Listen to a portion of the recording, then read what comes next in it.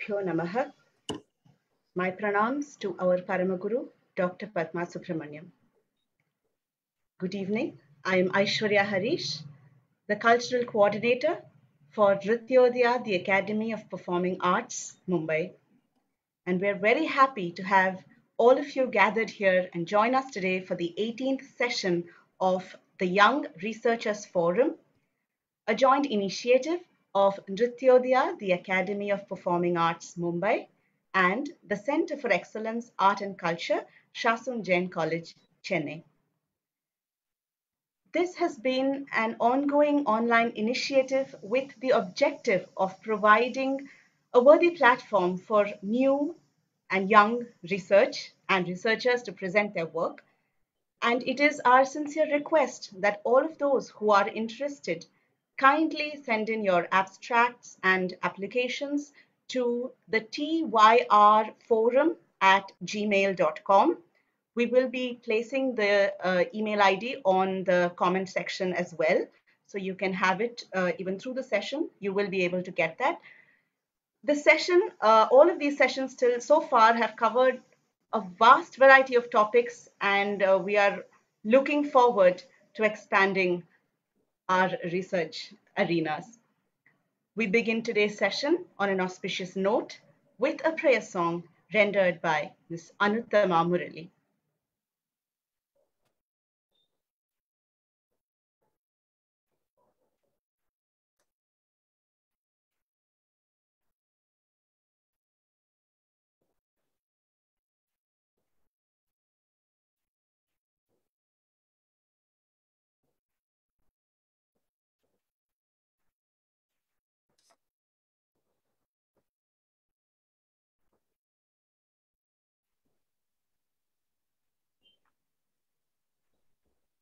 I request uh, Ms. Anuttama to kindly share. Uh, Anuttama, I think you'll have to uh, play the prayer song video. Yeah.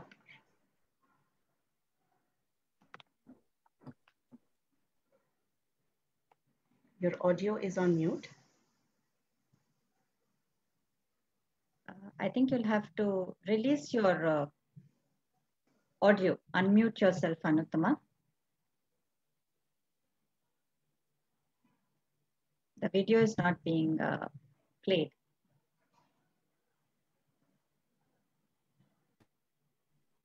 Yeah, oh, I, I'm just playing it.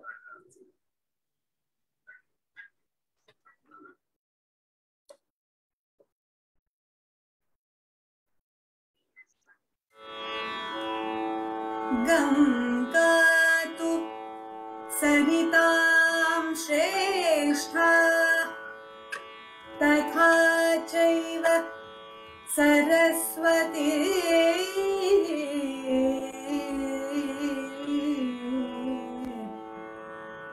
Kaveri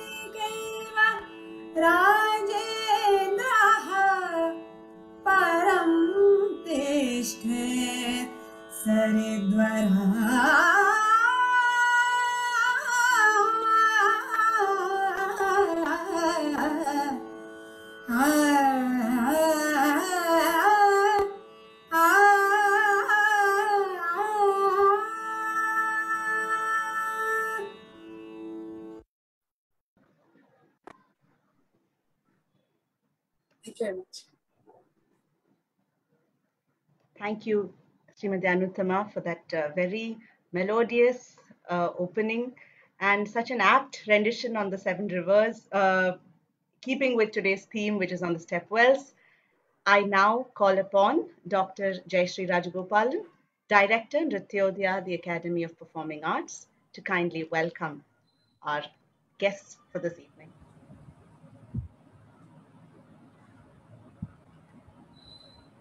Om Sat Gurubhyo Namaha. Namaskar. And a very warm welcome to all of you who have joined us on this 18th session of the Young Researchers Forum, which has been initiated by our institution, Nrityodaya, the Academy of Performing Arts, and the Center of Excellence, Art and Culture, Shankarlal Sundarbai, Shasun Jain College for Women, Chennai. We've been very blessed to have had our revered Guru, Padma Bhushan, Dr. Padma Subramaniam, flag off the series with a very inspiring lecture inaugurating the session, stressing the importance and the need for research in Indic studies to reiterate the relevance of our ancient knowledge to strengthen our common Indian psyche. My humble pranams to my revered Guru, Paduka, as we dearly lovingly call her, uh, for standing beside us as a pillar of strength uh, for every session that has taken place so far. My namaskarams and a very warm welcome to you, Paduka. We decided that we should have a special session on the step wells of Western India before the onset of the monsoon because it is so relevant for us to actually harvest rainwater and to know that it is nothing new. It was there in our ancient system. And according to the topography and the climatic condition, our great uh, kings have seen to it that it has been put to use very well. And that is what we are going to have a very, very interesting session this evening. Our young researcher is Tejaswi Mehta, who's going to talk about stepwells assessing the architectural and socio-cultural relevance of the subterranean structures. And our expert today is my dear friend, Dr. Anita Rane. We are so fortunate to have her with such a busy schedule.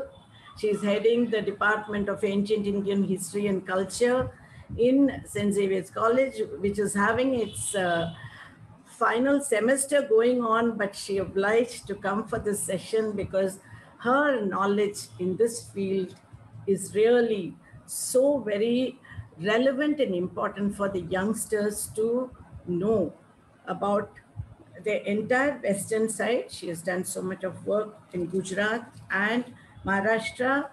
A very warm welcome to Anita ji and our young scholar, Tejaswi. We're looking forward to have a very interesting session with you. Thank you so much for being with us. Thank you, Dr. Jayashree. I now invite Dr. Rajshri Vasudevan, Director, Center for Excellence Art and Culture, Shasun Jain College, to kindly introduce our guests. Namaste. Thank you so much, uh, Aishwarya. Uh, it is gives me a lot of pleasure to introduce the expert, a stalwart in her field, and the young researcher, uh, Ms. To the audience today. Uh, as for Dr. Anita Rane, she is currently the Associate Professor and the head of the Department of Ancient Indian History, Culture and Archaeology in St. Xavier's College, Mumbai. In academics, she is qualified at BA, MA from University of Madras, getting the university first rank for both. She has done her PhD on the art of the Rashtrakutas 2013. She has a diploma in Pali from the University of Mumbai, a diploma in numismatics from Anjaneri Nasik, and a certificate course in Urdu, Sanskrit, and Avesta. I don't think she has left many other languages for other people to study. So it gives a very holistic and complete approach to her subject as well. Uh, in social work, she is the community railway police at Mumbai Central Station Heritage Site Conservation, discovered new sites in Konkan, prehistoric petroglyphs, Jain Basadi at Sindhudurg, and caves in Konkan at the Lanja Temple at Nasik, Kolhapur, the new cave site near Jogeshwari Cave Temple, and a mural at Ellora. Her awards and achievements are many. As I had mentioned earlier, we will be just giving a few of the highlights.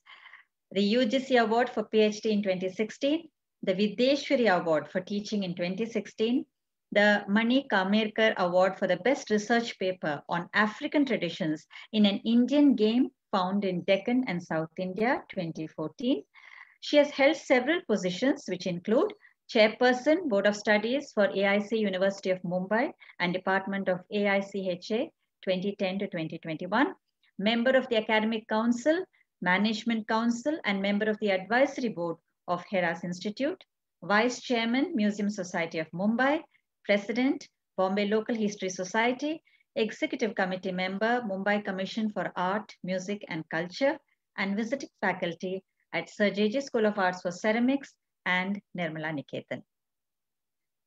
Conferences and workshops, she has presented more than 42 papers at international and national journals, seminars and conferences, lectures at ORF on cave architecture, petroglyphs, women in Indian art, field trips for consulates. She's conducted workshops on heritage and conservation, water and culture, importance of gazetteers, befriending museums, eco-friendly Ganesha and heritage walks, and hikes to cultural sites like caves and forts in and around Mumbai. She's been interviewed on ETV, Aaj Tak, Discovery, BBC, Epic Channel, TEDx, etc. She was selected by the government of Israel for a course on Holocaust studies at Yad Vashem in Jerusalem in 2012. She was invited for site lectures by the Ambassador and Consulate General of US to Ajanta, Ellora, and Elephanta, Pitalkhora, Ajanta, Ellora, and Anwar in 2021. We welcome you, ma'am, and it is indeed a great fortune that we have somebody so distinguished to be the expert for our session today. Namaste. Going on to our young researcher, Ms. Tejaswi Mehta. She is a heritage and arts consultant. Her specialization is in conservation and culture heritage management. Academically, she has a BA and an MA in ancient Indian art and archaeology from St. Xavier's College, Mumbai.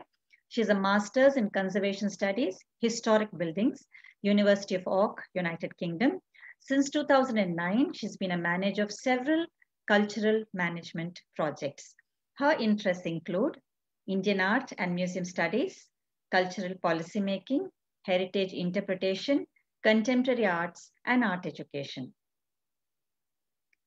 Her work experience includes at the Indian National Trust for Art and Cultural Heritage, INTACH, New Delhi, Piramal Museum of Art and Akara Art Gallery, full-time in the museum sector for the last five years, a freelance content writer and copy editor specializing in the arts industry. She's skilled at social media marketing, SEO writing, blog posts, writing blogs, bios, and research articles. Her specialities include project planning, great communicator with experience in engagement with traditional owners, senior leaders, community, and government departments. She has experience in managing tasks with internal and external stakeholders, in understanding the cultural heritage work program and the interaction with the community, developing programs to enhance and increase visitor access, and undertaking audience analysis and assessing the results. So that's quite a set of uh, skill sets of uh, Mehta. So it gives us great pleasure to welcome both of you, the expert and the researcher to our session today. The floor is open for you, Ms. Tejaswi, and you can proceed. Thank you so much. Thank you so much for the lovely introduction. Uh, first and foremost, hello, my name is Tejaswi Mehta, and it is really good to be here. And I thank Dr. Jayashree for giving me this opportunity to present at the, the forum. And uh, as you all know, my specialization is in conservation of historical buildings. But I, my love for Stepwell started when I did a presentation in my second year of bachelor's and third year on step. This love and passion for this architecture has just increased by leaps and bounds. So I'll like to share my screen now.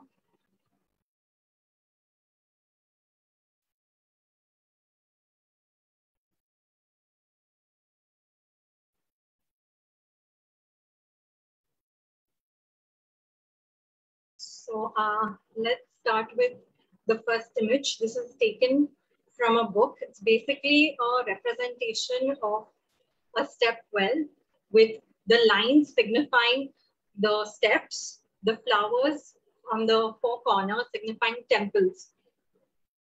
It was, uh, this image was actually crafted by Anand Mishra, who was one of the stalwarts of the of conserving water architectures, not just step wells in India, but across the board, different types of water architectures, which we will get into a little bit at the start of my presentation. Uh, after talking about the aims and the methodology of how I went into all of this, I will be applying this research topic to focus on the different types of uh, subterranean water architecture. From then onwards, I will provide a brief understanding of the architecture, the sculptural evolutions, and the types of stepwells. I will conclude this presentation by foraying into evaluating the value and the potential, potential relevance of these structures today. So the aim of my presentation is, and my uh, research is basically to analyze the value behind these subterranean water architectures. Like what do you intend to understand and why these, uh, why are these architectures relevant today as well as why were they made in the past? Most of these stepwells and step ponds have fallen into disuse today due to colonial ignorance, urban development, climate changes, geographic and environmental changes, and also this human ideology of progress means more advanced technologies rather than looking at how the ancients or the past civilization used whatever was available in their own environment and used instead of using that they have started using technologies which is considered progress or an advancement. I'm not trying to say that it is not progress or it's not good to utilize these different kinds of technologies that are available now, but at the cost of these, which actually serve a purpose, is something that we have to question at a regular intervals before we start to change anything so um, water harvesting has been carried on since antiquity with our ancestors perfecting not only the art of water management, but also constructing them at specific points where they knew that the result would be the most favorable. Therefore, we find many of the old water architectures in those eco-regions perfect for those types of perfect for those types of structures. Like in the western regions of India and some part of the north, these uh, the step wells were most famous in the Gujarat, Rajasthan, and parts of Delhi. These structures, most of these structures that you see on your screen today, uh, they collected water by rain harvesting, by collecting monsoon runoffs, floods from uh, lakes and other water bodies, and by tapping the underground water reserves. Looking at the images, we will go anti-clockwise. We have the Vedas, the Kundis, Johads, Surangams, Talabs, Jabos, Kuis, Vavs or Bavlis, Eris and Tankas. These are just some major ones uh, that are really famous and they can and some of them have been conserved continuously across the time they, of their evolution. Now we'll talk a bit about the functions of the evolution of Baulis or Vavs. Uh, Vavs is basically uh, a well and Baulis is also, it is a kind of a stepped pond, but the name, it differs because Vavs is more in Gujarat, Vavris and Vavs, and Baulis or Bavris are in Rajasthan. And so that is the name, the ideology behind the name. With the evolution or the invention of the step wells, the chore of uh, water or getting water from one place to another was converted into an act of pilgrimage itself with these uh, with these structures with these subterranean structures water was always seen and revered as a giver of life the personifications of Ganga and Yamuna, so often found at temples, doorways, and evidences are kind of uh, evidences to the venerations that water served. Their main function was to supply water, and water came into these wells in two ways. Firstly, via rain, and secondly, through what, the water table. Most often, the water in these wells was potable or drinkable, and in many cases, the water came with supplemental minerals, which gave these wells an additional quality of being called as miracle wells. These wells were considered as embodiments of the Devi. Therefore, they became a hub for women. The women would socialize at these. Also became uh, catered. They also catered as travelers' West Points because they were uh, because they were basically erected or built at certain points where travelers and traders would keep on passing. So they became like way stations with water, open architectural plan, so that there was all there was roofs as well. So people who wanted shade could sit and enjoy the coolness of the water that is surrounding these wells. With their multi-purpose uses, art soon became a part of these step wells. Walls, cornices, pilasters, pillars, and niches, and every single part of these wells was, was decorated with reliefs, sculptures.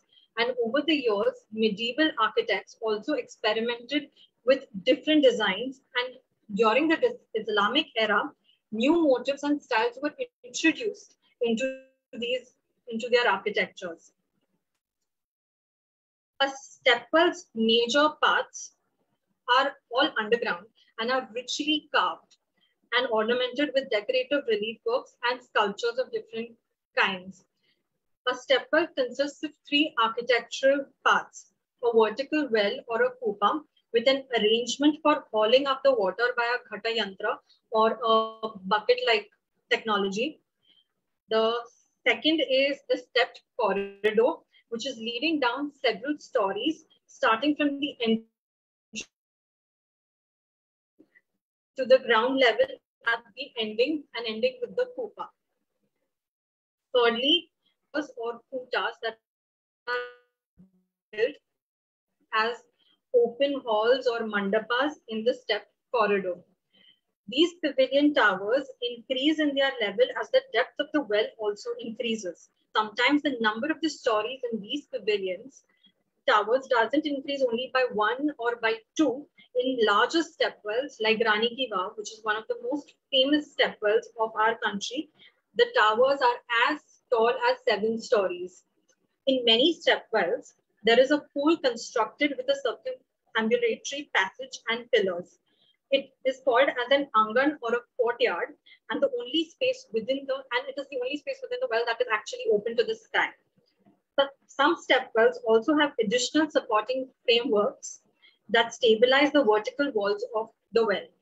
With so many elements, the step well became uh, like got to be divided into five different types and three subtypes of the first type. We'll go a bit into detail about that. And you'll also see a couple images on, the, on your screen. Type one of the step wells has the most basic features of a step well, and therefore this found this is found major, majorly in different parts of India, and it's one of the most uh, well-known and and the most well-known is Rani Ki Vav of this type.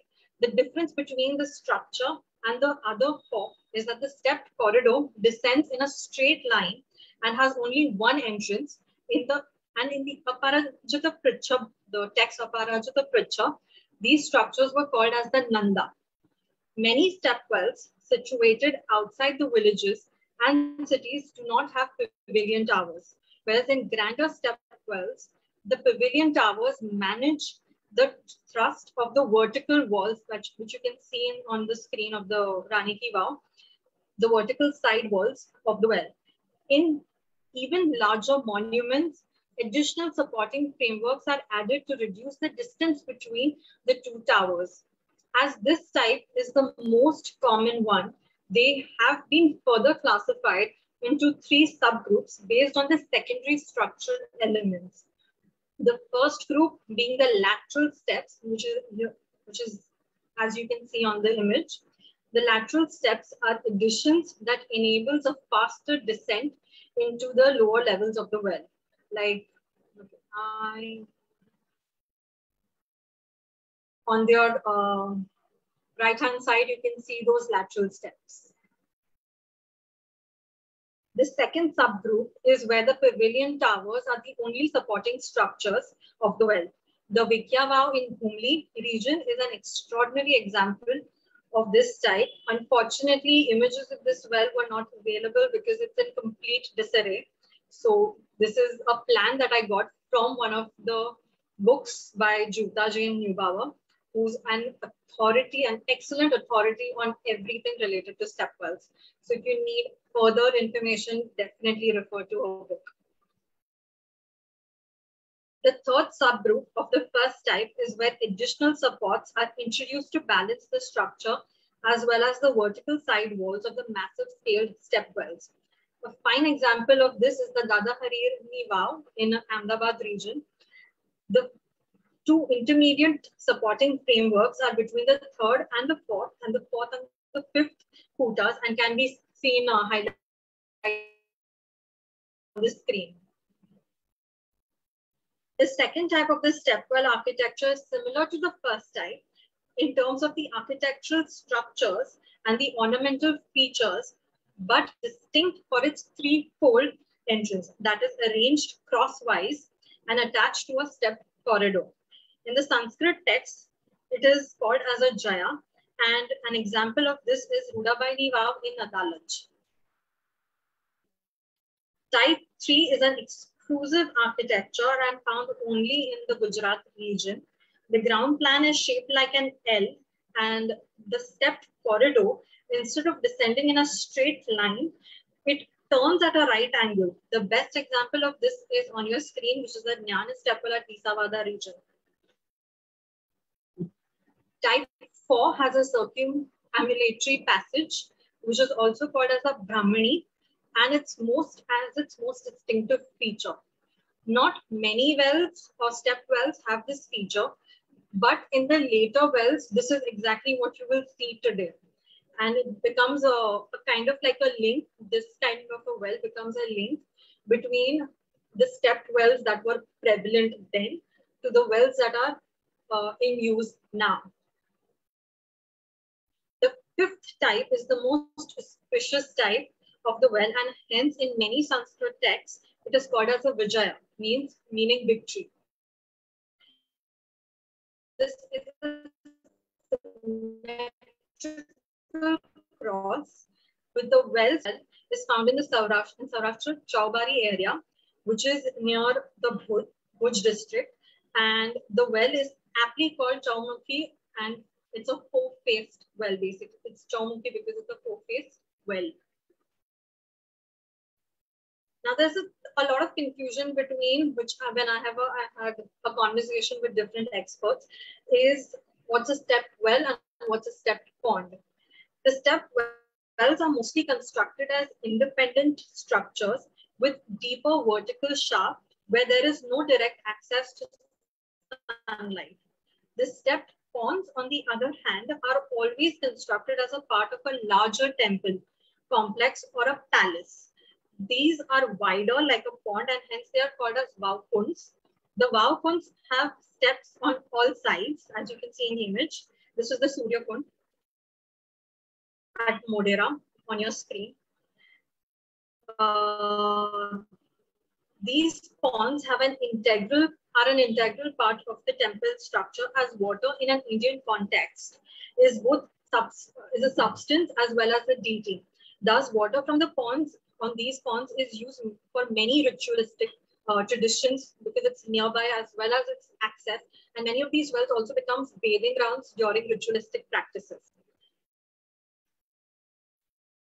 During the 19th century, with the advent of the colonial powers that came to India, many of these wells lost their prestige, their beauty, because many did not understand what these wells were because they were not just used for drinking water they were used for different for social purposes like as meeting grounds for bathing for washing animals for washing one's clothes.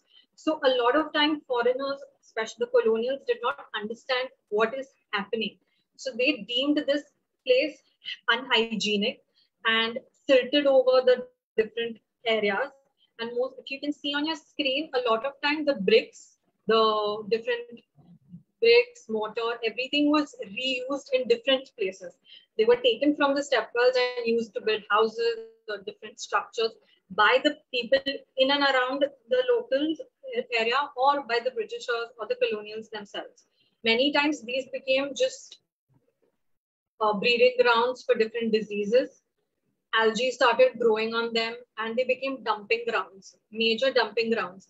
A lot of these uh, soon they were completely covered up. So that is why we have lost almost 20 to 30% of these structures. But now with more and more emphasis on going back to one's traditions, going back to one's roots and understanding where we can take the learnings from the past and applying it to the future via readaptive uses, retrofitting, conservation, uh, or turning them into something as unique as an exhibition space. A lot of uh, conservators, individual conservators, small time NGOs, big international NGOs, uh, architects, conservators have come together and tried to repurpose and conserve these wells. So as you can see, like there is on one side, there's no water and the other has just become like a dumping ground of sorts. Um, another impetus to their importance of stepwells was rendered by Rani Ki because it was one of the wells that got uh, inscripted in 2014 and it, after staying on the World Heritage list, uh, temporary list from 1998 till 2014. So it was a big push, a much needed push to understand the relevance, the significance, and the need to bring back or at least conserve these architectural marvels. The Queen Stepwell was built as a memorial to Raja Bhimdev I by Rani Udyamati in the 11th century. It is located on the banks of Saraswati River in Patan region of Gujarat.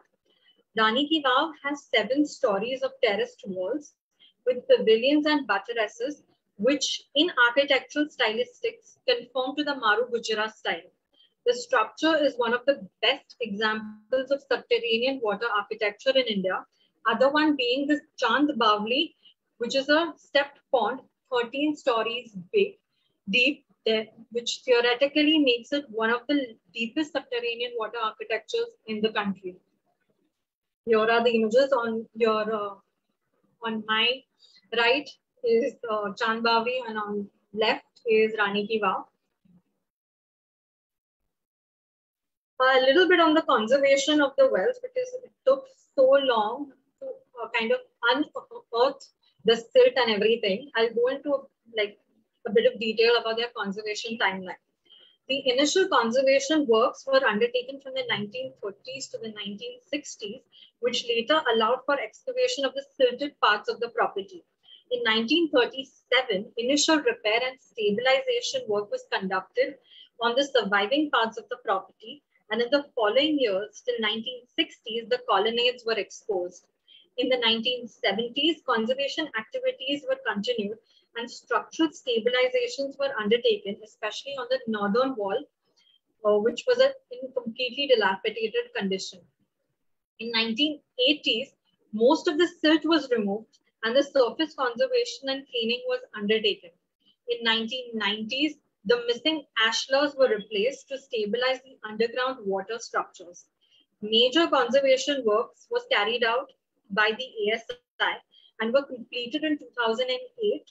But it, however, it has since been a continuous process rather than stopping at 20, 2008. It has been a continuous process where in 2011, a team of Scottish 10 uh, come from a company called Scottish 10 were employed who visited the site to generate a high resolution 3D survey of the site. You can see the 3D uh, imagery on your on my right hand side. Uh, this basically was also created to create an awareness internationally for the kind of architectures that are available. I also did my uh, master's thesis on the subject and I was completely in awe of the subject so much so that my supervisor was also like, you can actually do so much more in this subject, which kind of led me to continue my research in this field. And I hope to do more in this field. Just to kind of sum it up, uh, many organizations have realized the importance of these structures, not just for their architectural merit, but also because of the of their purpose of being their purpose of getting water, not just any water, but drinking water, which is something like currently we are serving, uh, having shortages of. So many organizations like Gram Bharti Samiti, India Water Portal, Gandhi Peace Foundation, and big organizations like Global Heritage Fund, INTACH, every in organization is doing something or the other, either through mapping of the architectures, conserving them, retrofitting them, turning them into something completely unique, or using the stepwells to create different objects like a table or a completely different structure like a building. But when it comes to the authenticity of these wells is something that we'll have to discuss much more and further because of the water uh, groundwater depletion. It's not always possible to bring back the step wells completely. You will have to understand that the there is due to tube wells, wells, urban development, a lot of times there's no groundwater available now. So how do you make sure that you can still like how these step wells can continue to survive today?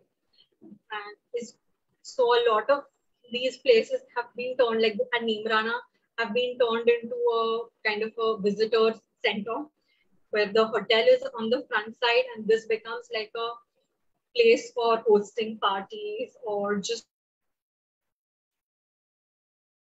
has been featured in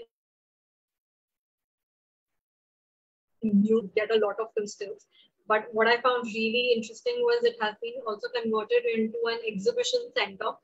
So a lot of artists use this to create their own different contemporary takes on what could happen in the future using the past.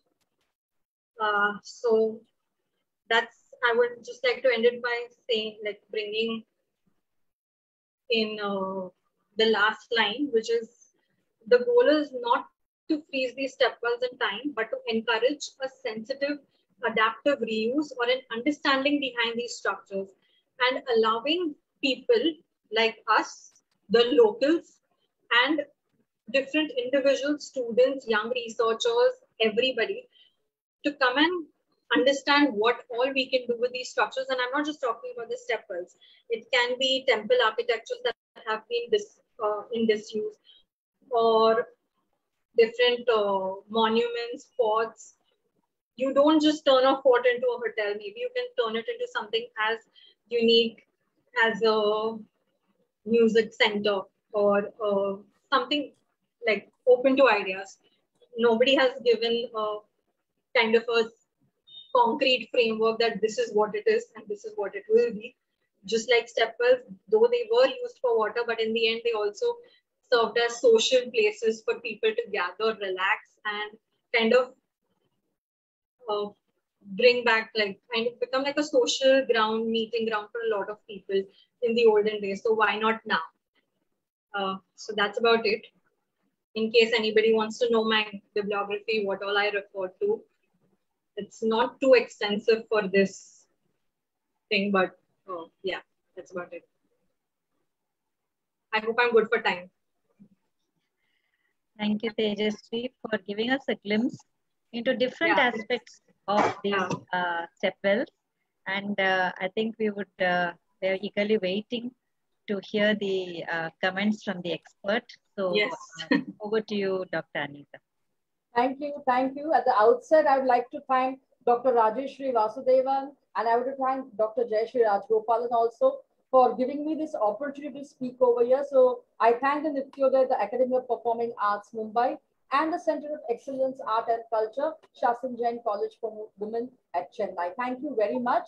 And first and foremost, Tejaswi has done a good job of showing conservation and everything as she was always good at it. So I thought, let me give it a different perspective altogether. And we will take a ride of, you can say, the different, you can say, water management techniques in India, right from wells, tanks, and to, you can say, different other systems. So as I say, when you look at Indian culture, we have got to take into consideration literary evidences and none other than Mahabharata. When it says, Vapi Kupa Tadavani, Devata Yatan Nanani Cha, Anna Pradana Maram Purtamitya Vidhi Dayate. That means that by your Purta Karma, one can acquire Punya. So by constructing small, big wells, lakes, religious shrines and gardens, by their construction, by creating it, by donating buildings, one can also gain moksha. Keeping this in my mind, I shall now share my screen over here for you all. And uh, let us start off with the. I hope you all can see it. So what are the techniques of water management in our culture? And we got to see that we got to take into consideration literary as well as archaeological evidences also for the same. And of course, we will see that Tadak basically means a square tank. And this tank can be, you can say, affiliated with a temple also, or merely a tank. And I just love this. You can say this was a photograph taken by me at Ajanta on top of the mountain when the water was flowing. That was about 20 years ago, and I loved it at that time. I don't know, I was just walking through the stream over here. So we have, you can say, well, step wells, the legacy. I will not go into, you can say, detail because uh, Tejaswi has already done step wells. So repetition is not a correct thing over here. And why do you, you can say, have these, you can say, systems? That is the most important thing. And I jump directly into the proto-historic period, what you can call as the Sindhu Saraswati civilization or the Harappan culture. And we get evidences of these, you can say, tanks or step wells. This was a, you can say, well in Lothal. So they realized the value of, you can say, wells at that time. That is the most important thing.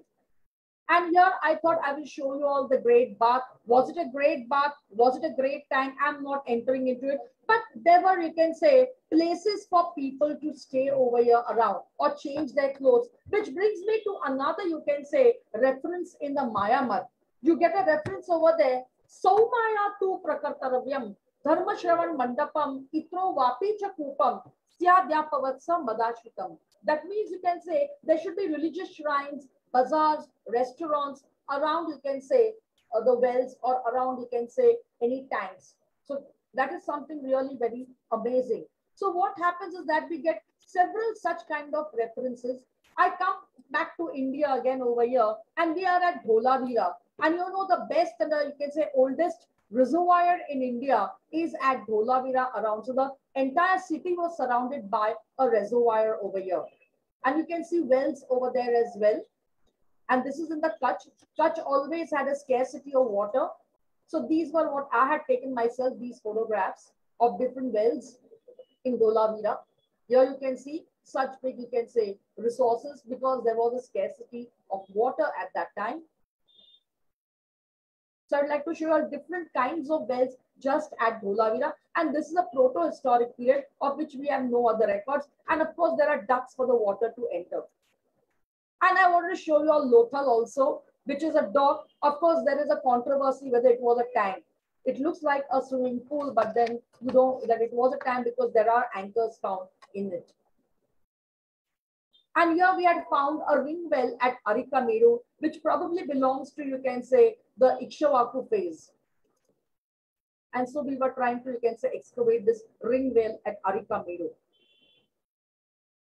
And here, let us leave it all aside over here. And I come to, you can say, the Mauryan period. And we cannot forget Chandragupta Maurya, who built the Sudarshana Lake Dam. That is the first time we get a historical evidence of something being constructed over here. And this was just a map. And as you all know, that Junagadh uh, inscription of Rudradaman, it tells us that this ram, dam was repaired also by uh, Rudradaman, who was a Scythian king. Again, you will find that later on, this dam was repaired by uh, the Gupta kings. So you see that everybody respected any of these, you can say, sites. These sites were never destroyed by any, you can say, foreign invaders prior to the British. I now come to old traditions of rainwater harvesting in ancient India. And these are the caves at Bhadravati, where you'll see that they have water cisterns where water used to be, you can say, put into, you can say, podis or water systems. This is one of the earliest caves at Bhadravati near Chandrapur. So when you look at it, I just wanted to show you all there are different types of water systems. In a city like Mumbai itself, you have the Kanheri Caves, where there are, you can say, excellent dam water systems, which are termed as podis. Podis come from the word snana podi, panya podi. So rainwater which was harvested, which was, you can say, collected over here, water was used over here for bathing purpose and other water was used for drinking purpose. Plus they had lavatories, janta ghar, and they also had a dam which was built. We have an inscription to show it as well. And a tank also on top. So smaller caves also had the same. You can see that they have channelized water on the mountain over here at This is a Kanheri. So the water could flow into the caves. And it's fun to go during the monsoon to just see this happening. So you can see how water was channelized out there. And these are podis. Believe me, these were dedicated by the Scythian king. Nahapana's uh, son-in-law, Usav Datta, had done it. Again, this was a tank at Kanheri only. I'm talking about the era of first century BC for you all. And this was a dam which was built to block the water at two places. And this was the uh, inscription by Punaka, who belonged to Nala Sopara. I just wanted to show you all a tank over here. In South India, you will always find a mandapa in the center. So this might be near a temple, but they always are a mandapa, which is generally you can say kept. Now, who tells you about all these things? You have the South Indian literature. So you all have Aparajita Pracha by Bhuvaneshwar. You all have Maya Mat referring Vishwakarma, Manasara. All these you can say books tell us about, you can say these kind of things. There are shlokas which you can say speak about these kind of concepts. So we have, you can say what you can call as a, you can say a chapter on it, which is called as Vapi Kupa Tadagni Nirnaya. So you can understand they had special works done on this. Of course, you all know the Surya Kund at Modhera, which you have. So I want to just co-connect it with temples. So whether they are temples in South India or whether they're temples in the western part or central India, they always had tanks over here. In Maharashtra, you also call it as Pushkarni. We had Pushkarnis in Mumbai also. In fact, at Thakurgarh, there was a Pushkarni which was closed down by the British, but you yet have the temple near it. And this was how the flow of water came around over here. I wanted to show you this one. This is Parioka Talab, which was built by the Rashtrakutas at uh, Aurangabad. Of course, this is taken during the, you can say when there was no rains, but they had built such a, you can say, lake for that purpose to save water. Now we will go, you can say different aspects of it, what had happened over here. I'm not entering into all these kind of things for you all, but you will see the techniques over here and how you can say they were made of bricks over here, around over here. And what is the utility of a step well? Of course, you, it's a secular and a sacred architecture, which you all get to see. And it was, of course, as uh, Tejaswi said earlier, a residing place during the, you can say, summer season. It's a very cool and a nice place. And of course, many rich, religious, you can say, uh, rites and things were performed over there. And just there's something very interesting. The early caves over here, I mean, early caves, I'm sorry, early, you can say, step wells have got beautiful apsaras and all. Why do they have this kind of a thing? Because apsaras represent, you can say, also rivers. And therefore, they're also representing matrikas. And therefore, you find several koshtas, deva koshtas, where you could go and worship your own god as well. So it was something very, it was like what you can call as a public gathering place. So water, you can say, as a source of life, purification, see. As I told you earlier, it was an act of merit. Memorial, you all saw, you all saw how Queen Udaymati, you can say, built, or Udabai, you also Adalat Ki as well over here. So you also have the legacy of stepwells and the change which occurs over here is in the form of architecture. So we will see that change also over here just now for a moment. Here is the one which you all see in Delhi, which was, it's an old photograph, uh, how it was like. And Islamic architecture lacks over here any kind of, you can say, art sculptures or anything because Islam does not believe in this. So the arches over here will be able to understand. This is how this Agrasen ki Bauli in Delhi looks like. Here you'll have. And this is the one at Champaner, which a helical step well of 11th, 12th century AD. Champaner is also now what you can call as a UNESCO heritage site. And this is a Chand Bauri in Abhineri, Rajasthan. So these are what you can call as you can say tanks come wells. Another look over here for you all. Intrinsic architecture for people staying in a, you can say, desert area. They could also, you can say, it was a kind of, you can say, a, uh, an air conditioned compartment. And this is the Rani Ji Ki Baudi in Bundi, which you all see in Rajasthan. Again, because of Islamic art, you have very few sculptures.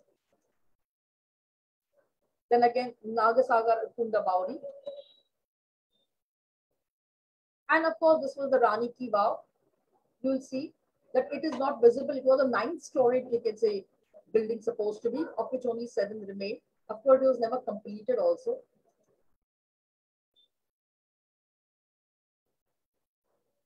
And there are beautiful sculptures over here. Sculptures of Sura Sundaris over here. One such Sura Sundari, I could not put in all the photographs, has a, a beautiful, you can say, scorpion on her eye. Now uh, it's on the right hand side. When you all go down, you get to see her because it was not, but I, I felt like telling you all about this uh, scorpion on the thigh. Why do they show such kind of things over here? What does it really signify? Because while you are stepping, you are becoming holy. Water is always holy for everybody. So what has this Sura Sundari got to do with this? Well, actually, if you co-connect both of them, it is very interesting because a scorpion on the thigh actually is provoking you into what you can call as vasna or what you can call as lalach. Okay, so whether it's a man or a woman, both of them get the same feeling. And this, this is where I come to the saint literature in Maharashtra. And when you all have Eknath Maharaj's Bharu, which says, Binsu Savala Kaimi Karu, That means that that scorpion, as you can say, bitten me. What will I do? That scorpion, scorpion is your vasana. So leave your vasana aside. Leave that. You can say that. You can say lust which you have behind, and go and you can say purify yourself in it. Is what they would like to tell you. Also, actually, all these sculptures are representations of the you can say myth which you are expected to understand.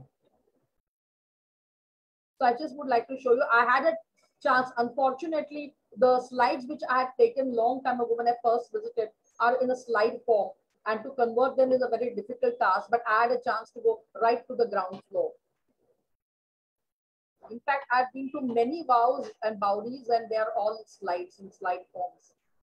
So each of these sculptures we had done. In fact, one beautiful uh, vow which was there, it was full of water and then we had to leave. We could not go much more in.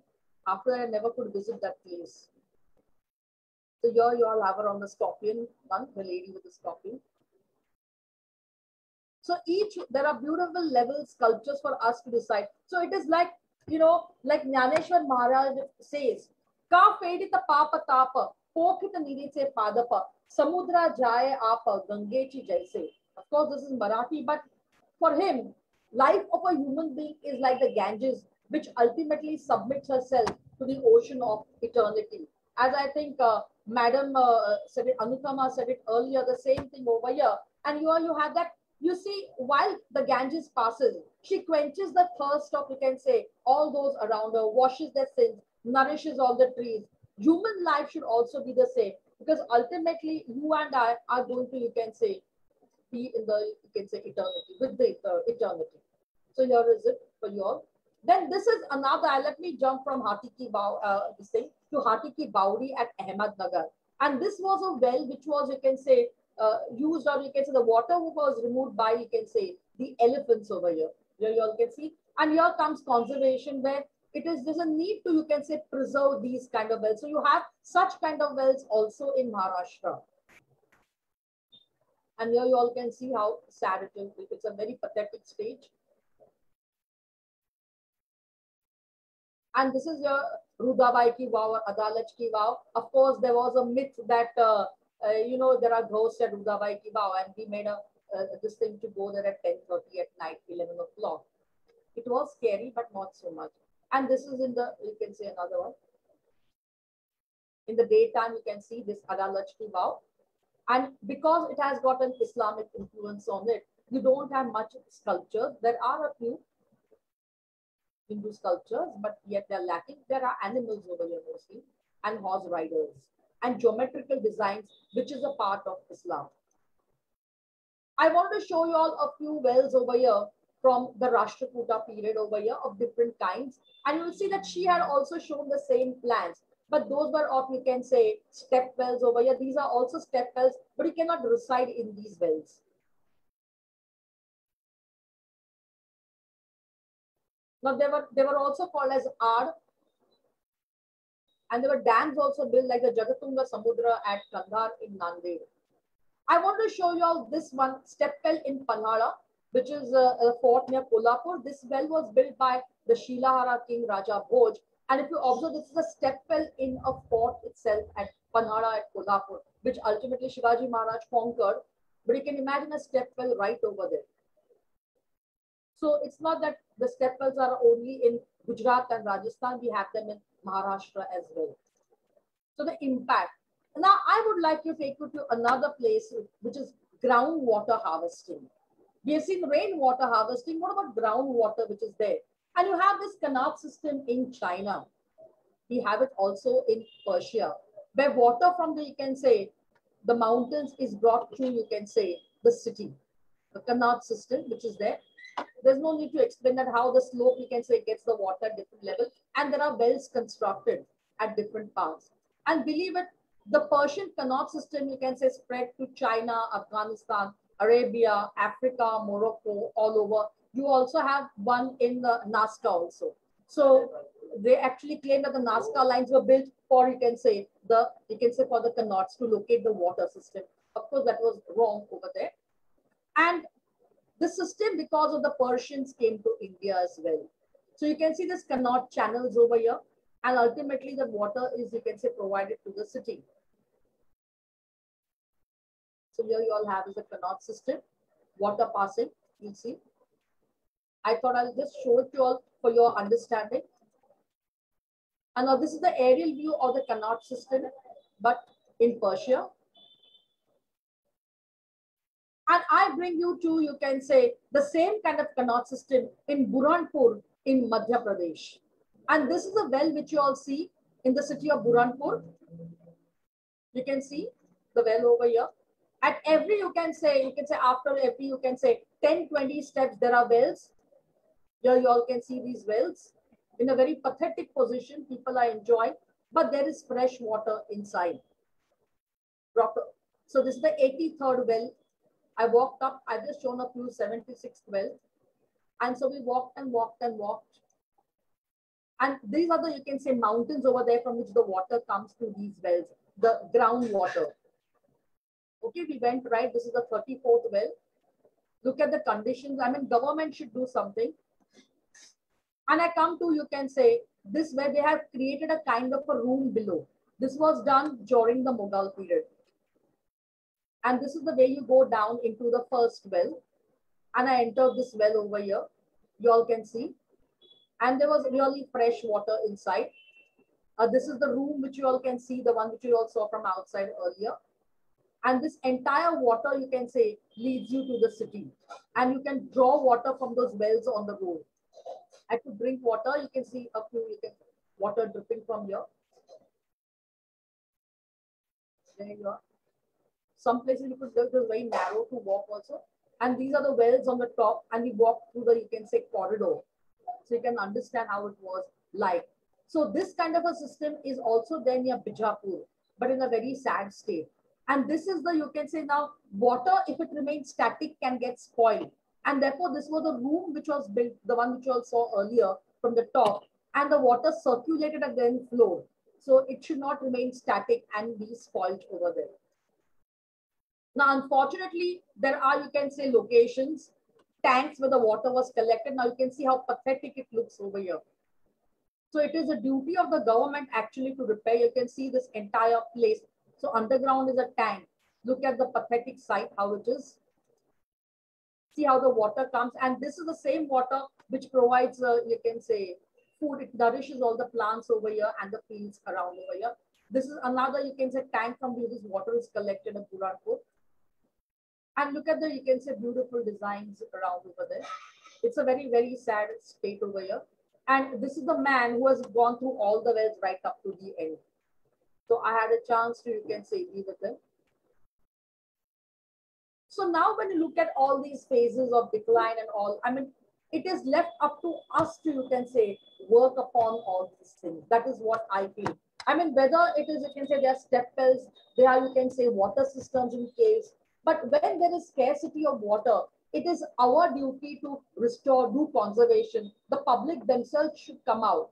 But instead what we do is we throw rubbish into, can I was going to show you one photograph, but I felt very sad. I said, I should not show you that I had taken photographs of wells which are covered with litter.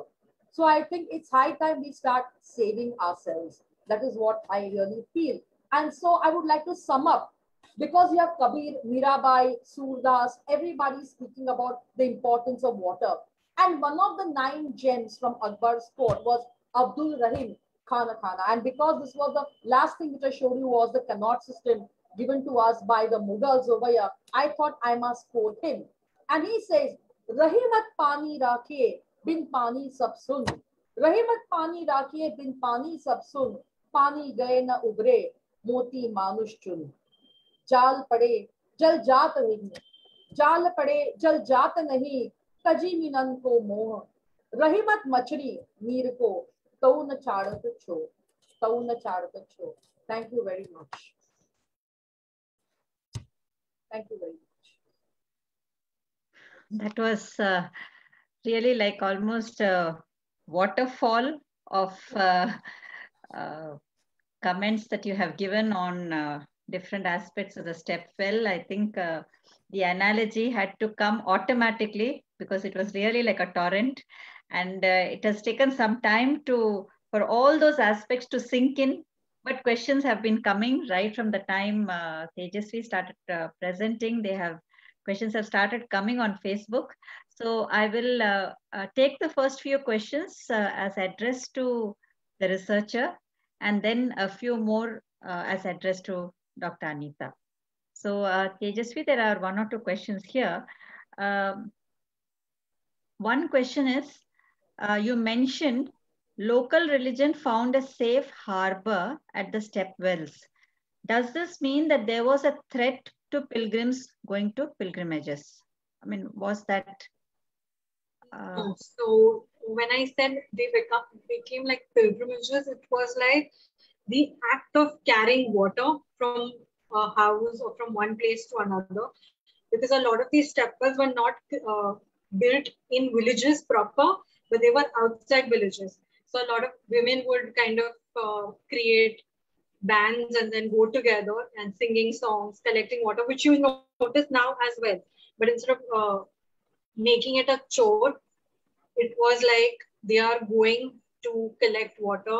They are going to collect water to bring back to their house. Then they will stay there. They will sing songs. They will talk amongst themselves. They will uh, encourage different kinds of religious singing and everything. Because during that time, that was some that was a social activity rather than Facebook, Instagram that is now. with that, with then it was between women. It was more about the whole connecting yourself with the nature, and nature was a part of religion during that time. So when I said pilgrimages, it was basically about the making the act of carrying water from one place to another a pilgrimage that these step wells kind of symbolized. And that's how they, instead of just making uh, structures that are simplistic, a lot of step wells that you see have, uh, especially before the Islamic era, uh, they had sculptures, they had different uh, symbolism of the Hindu reliefs and structures. So. Uh, so I think uh, there is another question which is uh, similar to what you ended your uh, answer here. And that is, does it mean that each step well was dedicated to a particular god? Not really. Not really. There were a few that were uh, basically for Devis, like Mata Bhavani Vav or even Ra not Rani Ki Vav, uh, because they were based of uh, Ranis who actually made the wells, but they had different symbolism. There wasn't, it was a secular structure at the end of the day. And the, the idea of water is universal across religion, it's pan religion. So, not a lot of uh, people or the architects or the patrons made these wells into one religion only kind of steppers. They were open to all and they did not cater to one religion. But usually, what happens is the local population kind of circumvents around these wells and the popular religion becomes part of that entity itself. But that does not mean that it's just a Hindu well or a Islamic well. It's basically a step well. At the end of the day, it's a secular structure with religious motives around it. That's it. In continuation of this question, which uh, uh, Dr. Rajeshri has uh, put forth to you, uh, where uh, in Rani Ki Vav, I found there were a lot of uh, sculptures depicting the, the various avatars based on the Dashavatara. There are a lot of them there. So, Yeah.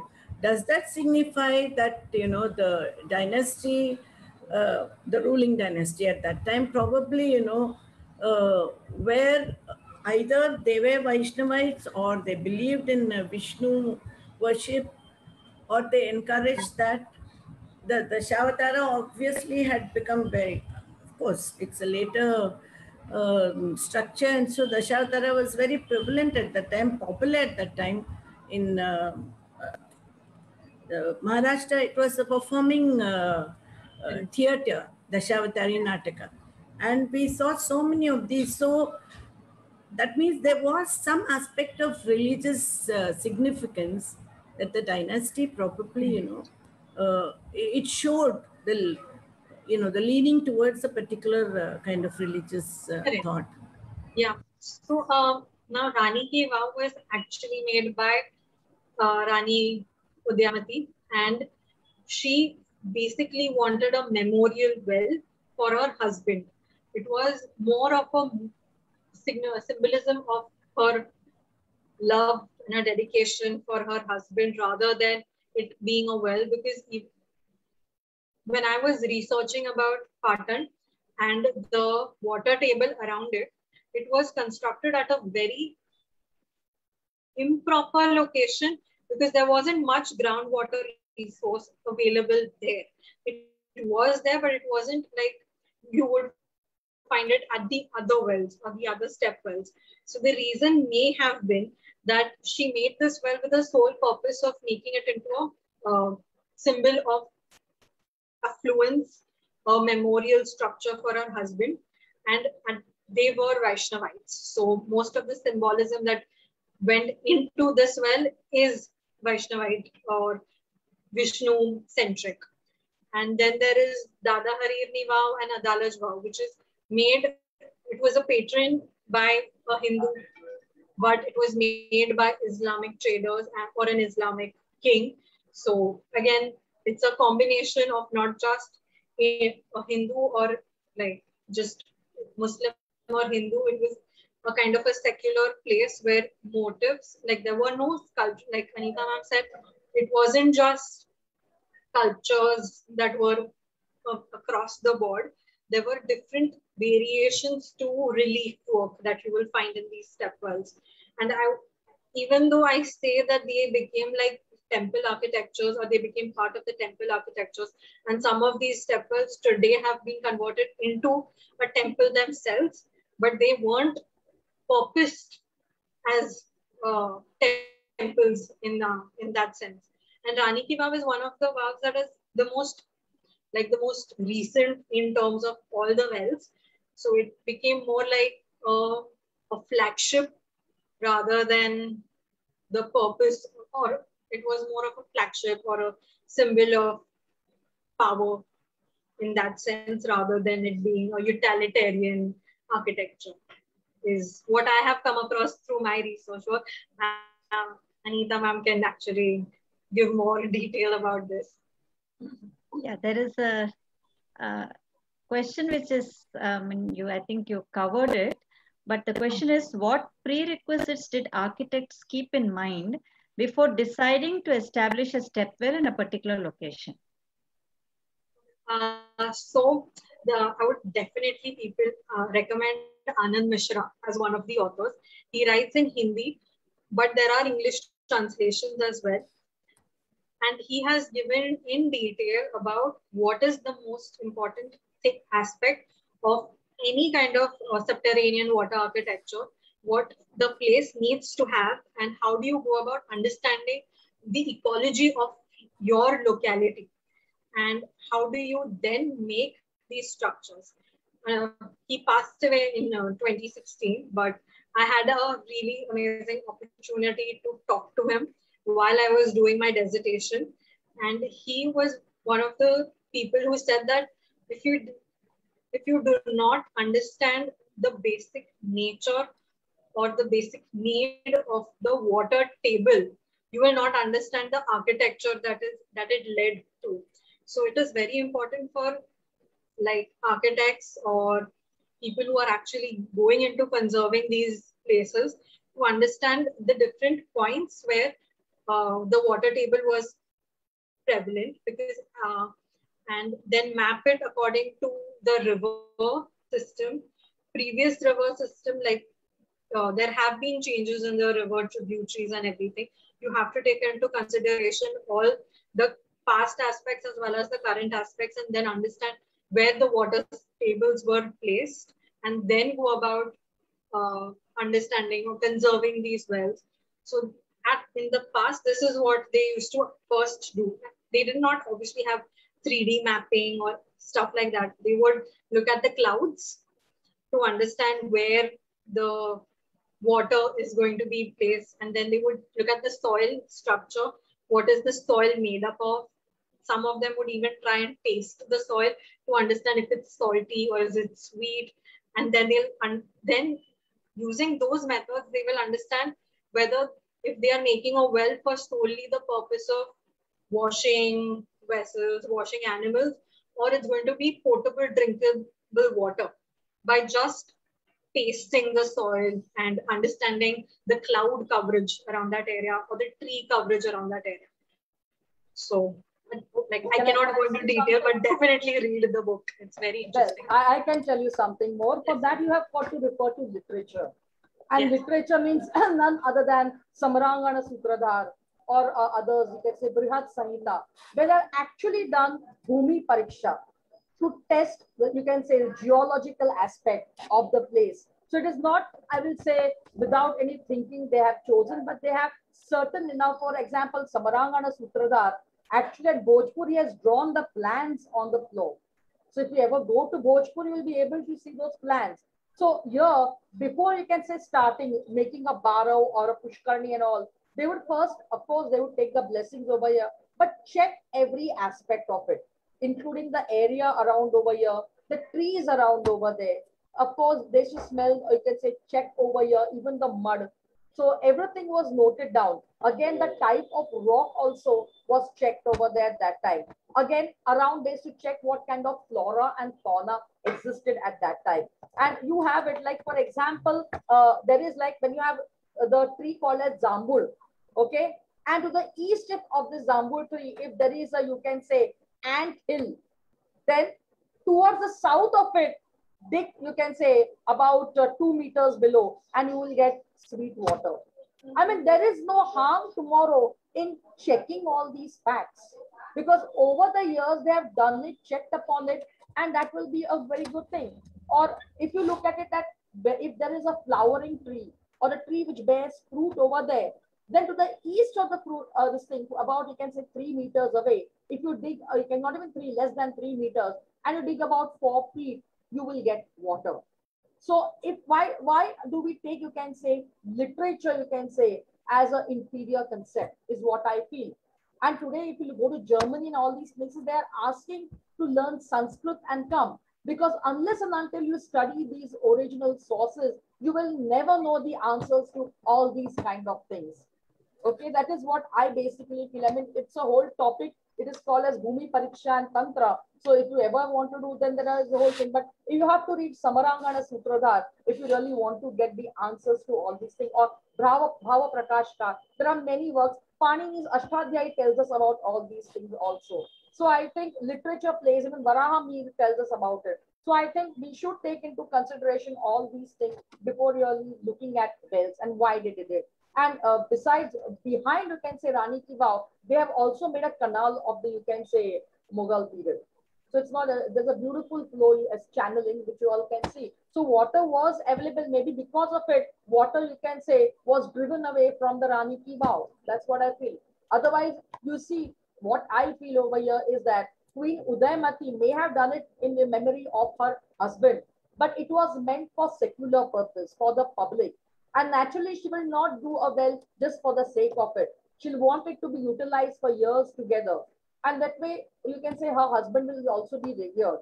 So, because of this, you will find that this was a later, you can say, hazard which took place because of that channel being created over there. And the water was, you can say, dragged from that area. I think this is happening even today in all these areas as well. That's what I feel. I'm sorry. Uh, Ma'am, there is a question. Uh, is the uh, this is to Dr. Anita. Yeah. Is the Great Bath then a misnomer? Was it actually for storing drinking water? Well, I can't tell you because the inscription is not deciphered. so I, I cannot prove those kind of things, nor can I say anything about it. Okay. Uh, there are two questions which are, I think, connected. One is where the step wells always filled only through rainfall. And is there any mention in historical works of a step well getting filled completely, like during floods? Yeah, yeah, it does get. I mean, why? I have seen it myself getting flooded. I mean, in Gujarat itself, Barot Ki Vav and all, which I have seen. I could not go down. I just could go three levels down, and the entire place was full of water, gushing water in the rains over there.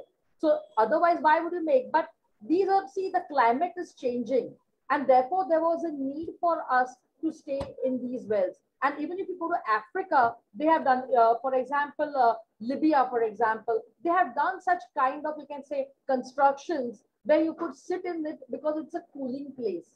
So in one way, you're getting water, and one way, it's like a resting place for you. So it gives you two-way things over here. Yes, but the waters were there. Yes, definitely. So when the uh, wells got filled up, the sculpture would naturally be covered Yeah, the- completely. Yeah, of course, of course. And uh, yeah, probably you would be stepping onto some of those platforms. Uh, No, no, you don't. No? The sculptures are on the sides. there were some which had a platform, no, I think, no, no, uh, no, which was shown. no. You don't come across them in that manner. No. Okay. They're all the, you don't.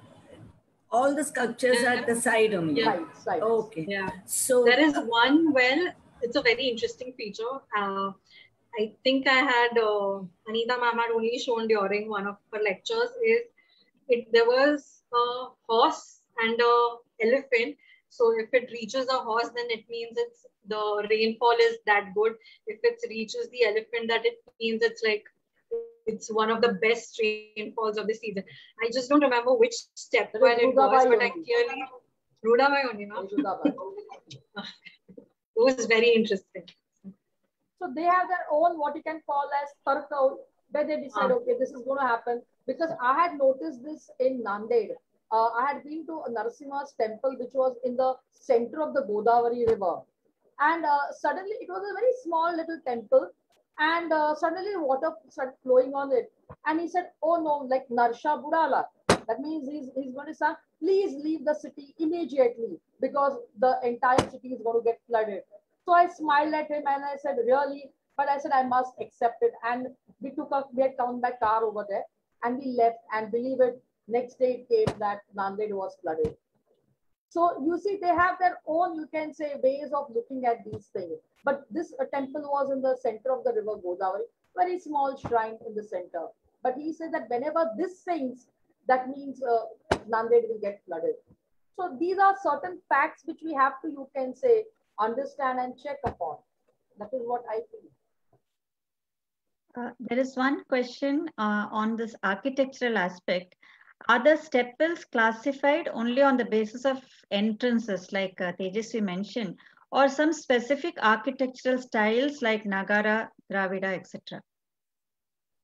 Nagara, Dravida, and all of them are shikaras for temple architecture. While this, these are wells, so there is a difference. But now, for example, in the Surya Kunda, you have many Deva Koshtas. So those Deva Koshtas over there, on the top, there are small mini shikaras. They can represent different styles. But the wells don't represent any kind of those things. That is what I feel. Uh, I think uh, one or two students are asking something which they feel is very pertinent for them. And that is, as the future generation of the nation, what steps can we youngsters take to conserve these step wells? And what can we do as students to spread awareness among our generation regarding the sophisticated systems that were utilized in the earlier days? Well, you can do a lot of things. First and foremost is you have a media call as Facebook. Go around in your own city, villages, in search of all those bowdies, wells around. There are lots of them. And hunt for them, make a note about them, see which wells are yet functioning, which are not. Contact the municipal corporation, the local. Tell them, see whether their gases, clean it up and reuse that water again for certain purposes. It is possible we had done this in the city of Mumbai itself. Meanwhile, they can go and spread awareness to other states. Like, for example, I feel people should do something to Burhanpur. What a beautiful system they have. Imagine walking under the wells and going. But there are people, you know, when you go ahead, you are scared because people spit, people throw. So that awareness is lacking in them. So I feel this is not, a, you can say, a provincial, you can say, uh, division over here, but it's our country, our wealth. So I think we all together should try and you can say, do this kind of water management conservation. That's the way I look at it as. So you Yeah. children over here should come up and do these kind of things. I'd Uh, also like to add a bit on this because this Yeah. was basically my job description. uh, while I was in INTACH and then at Piramal Museum is audience development and creating awareness about different arts and architectures across India. Especially during my time at INTACH, uh, I was training CWD, PWDs, engineering people, as well as students of different to understand the first and foremost, you are irrespective where you go, you will always be considered first and foremost as an external participant in the locality. Uh, so you need to first understand the local understanding of what they think that place is, whether it's a stepwell or it's a different, it's a temple architecture or a old building structure which has a significant historical importance. So you need to first understand the oral history behind it, the practical history behind it, and then talking to the locals, understanding their inputs, and then bringing them in to the whole awareness. Because unless and until the locals are not aware about what, where they live and what is around them, no matter what foreign, external, or what kind of whether INTACH global heritage fund world monument fund whoever keeps coming into the country to preserve and protect these places it's not going to create a long term impact. It will come back because come back to its origin like the disuse and the unawareness around it. So that's the first thing. And as students you everyone has this power of a mobile phone and the internet so keep documenting, use blogs, use Twitter, use Instagram. And like there are so many already people, like there is uh, one uh, person called Rohan Kale who has documented 900 wells, step wells in Maharashtra itself. So he's, a, he's on Facebook and he writes blogs and he documents, visually documents everything. So that's one of the things that one small thing that can lead to something bigger. So, yeah. In fact, every fort has wells, such kind. So whether you go to Daulatabad fort, any fort, there are beautiful wells over there. Mm. So you can start saving, clean up the campus. You all can take up these moments of cleaning up heritage sites around you. And I think the ASI or your state department will be very happy if students come yes. up and start helping. Yeah. So that way, all of us can do, as a citizen of India, we can do that. Uh, Ma'am, there's just something I wanted to ask. In Hampi, we have this entire system of these aqueducts. Yes. Which flow. So is that pattern very different from the uh, stepwell concept or uh, is See, there some connection? What, what Krishnadev Rai had done was he had built the channels according to the flow of the river, which we have not done. We tend to, you can say, do it ourselves, but then because it did it, you will see that Hampi never got flooded because of it. And then he channelized the water into different fields. That is what he did. So actually, if you look at it in the city of Mumbai, now at Borivali, they have built an S bridge, which actually is built according to the flow of that Dahisar river. Because otherwise we are blocking water. And once you block it, what happens over there is that somewhere or the other, the water takes over. So we have to, you can say, go according to it because I feel personally, water also has its own life. So like just we create to Narmada. Narmada is the oldest river. We get fossils in Narmada. And we can understand that all these things are there because when she said the uh, chant, I felt like saying Narmade Har Har.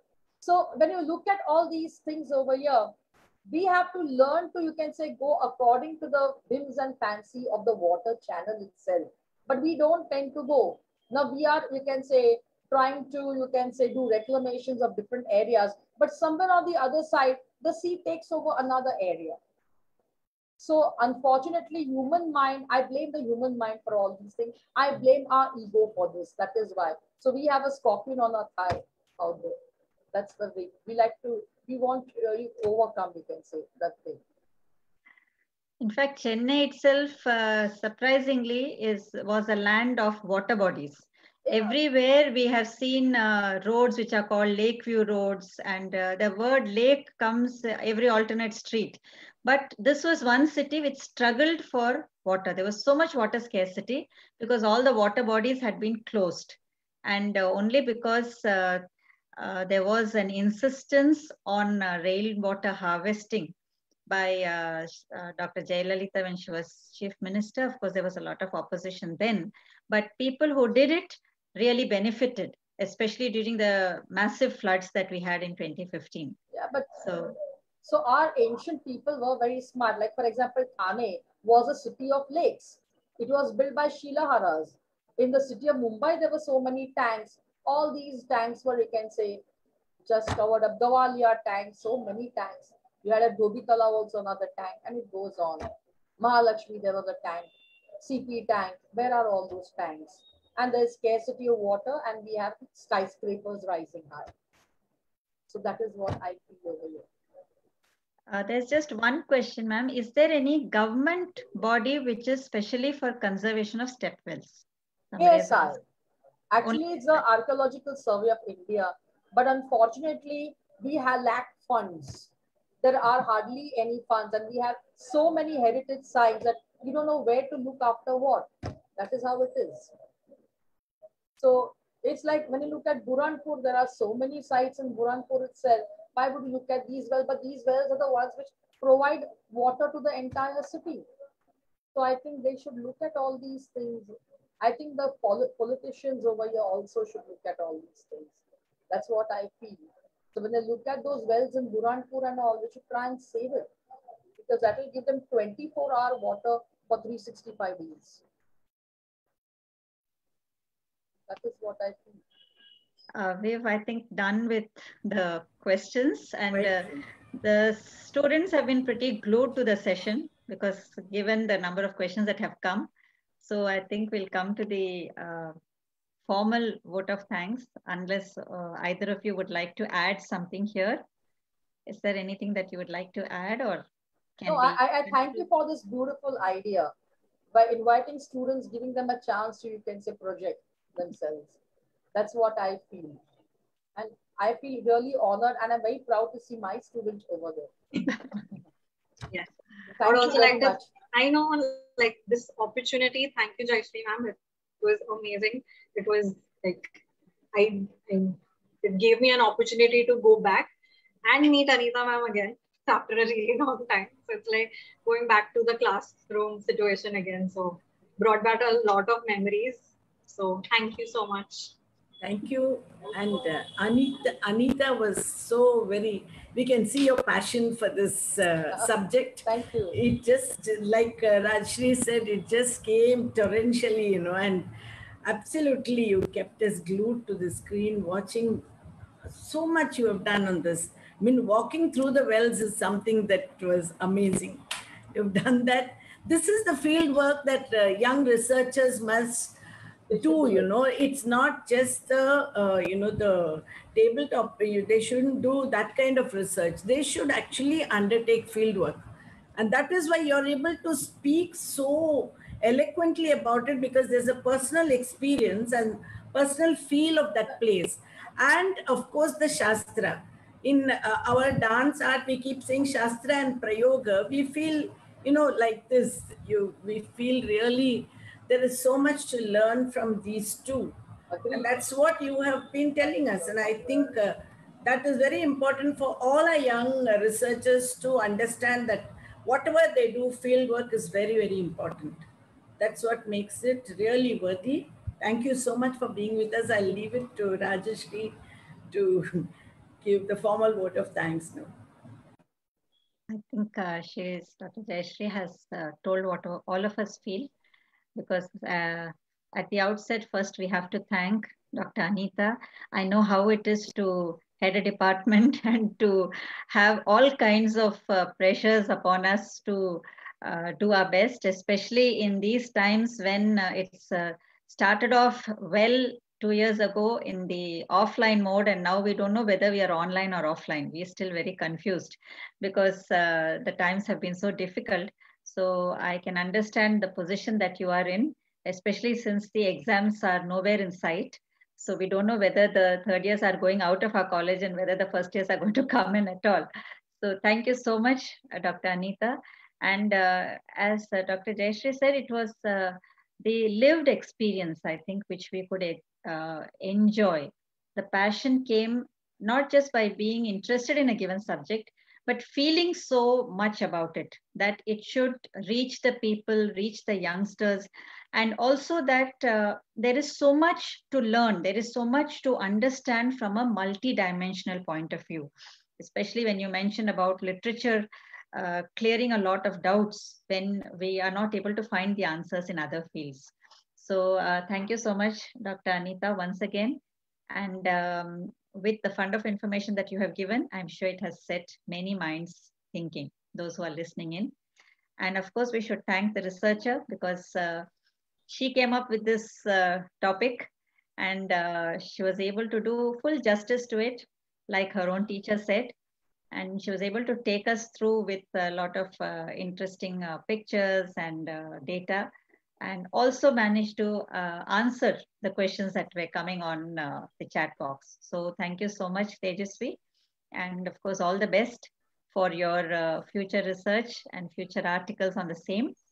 And uh, we will be failing in our duty if we do not thank our uh, uh, Guru, Padma Bhushan Dr. Padma Subramaniam, who's been with us, guiding us, encouraging us, and helping us believe that we are reaching out to some people with some kind of useful information. So thank you to her. On behalf of Center of Excellence, I would like to thank our secretary, Sri Abhay Sri Shimal Jainji, and our principal, Dr. Padmavati, who has joined us in this session on uh, Facebook. And she was particularly interested because her daughter is an architect. So uh, she found this topic very fascinating.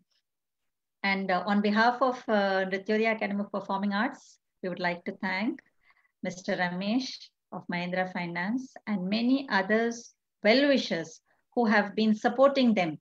Also the uh, different departments who have been uh, sending us names of their young researchers and some experts who have themselves come forward and said we, they would like to be part of our session. So it's a, a very gratifying experience. Thank you to uh, Mrs. Aishwarya for her MC and to uh, Mrs. Anuttama, who took the trouble of uh, culling out certain verses on the reverse and tuning it in the Hindustani Raga style. Thank you to Mrs. Srividya for being the technical support. And it uh, gives us a lot of pleasure to also announce that our next session will be on uh, June 4th, again a Friday at 7 p.m. And it will be by uh, Ms. Mahati Kannan, on the concept of bhava and rasa in the plays of Shakespeare. And uh, the expert is a very renowned scholar from the University of Delhi. It is Professor Bharat Gupta. So we hope to uh, have all of you listening in again, sharing your, uh, asking your questions, sharing your comments, and uh, being with us in this very interesting academic research journey. So thank you so much. Shubharatri.